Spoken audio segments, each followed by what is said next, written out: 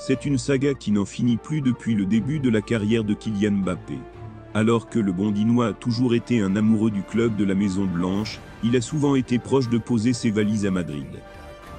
Refusant finalement le club le plus titré en Ligue des Champions à plusieurs reprises, ce dernier pourrait revenir à la charge cet été, alors que KM7 pourrait être en fin de contrat à Paris s'il ne prolonge pas avec le club de la capitale. Interrogé par Movistar Plus, Javier Teba, le président de la Liga, est revenu sur la possibilité de voir Mbappé rejoindre les pensionnaires de Santiago Bernabeu dans les prochains mois. Pour lui, le club présidé par Florentino Perez a de grandes chances d'attirer le champion du monde 2018. Convaincu, non, mais c'est un destin pour lui, c'est sûr. Je pense qu'il sera en Liga la saison prochaine à 70 ou 80%. Alors que Carlo Ancelotti quittera le Real Madrid l'été prochain, le Real Madrid s'est déjà mis à la recherche d'un successeur au technicien italien.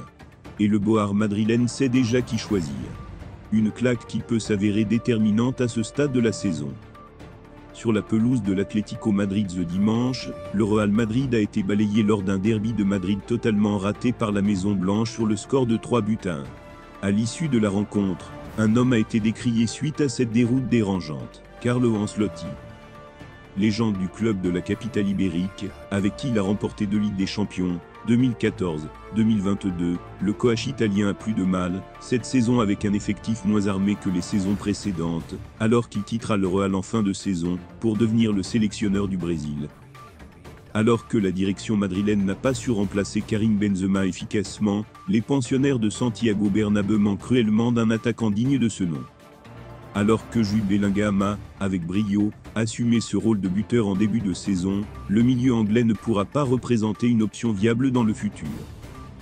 Malgré cela, l'ancien entraîneur du Milan et du PSG continue de l'aligner dans une attaque à deux composée également de Rodrigo. Avec cette bouillie tactique, Ancelotti s'apprête donc à passer une dernière année compliquée dans la capitale.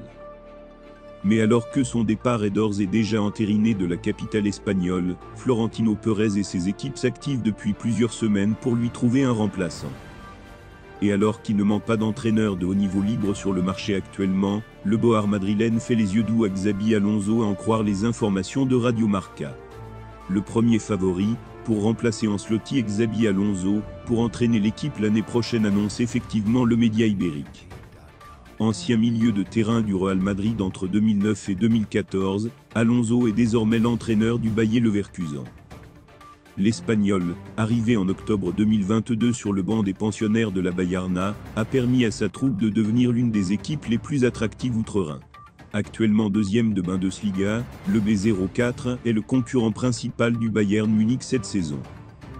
Alors que son contrat expire en 2026 à Leverkusen, le champion du monde 2010, pourrait ne pas être insensible aux sirènes madrilènes.